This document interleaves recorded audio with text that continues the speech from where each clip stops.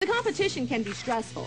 These have been the hardest weeks, like, of my entire life. Everyone has their own method of handling it.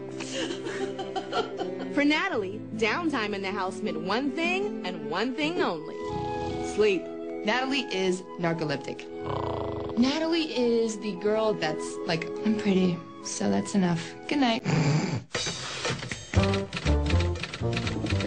You know what'd be really funny? Is if there was like a Natalie sleeping montage.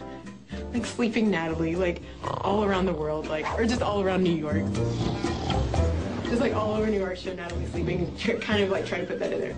She sleeps so much. I just think like if you made a montage out of that, it would be rockin'.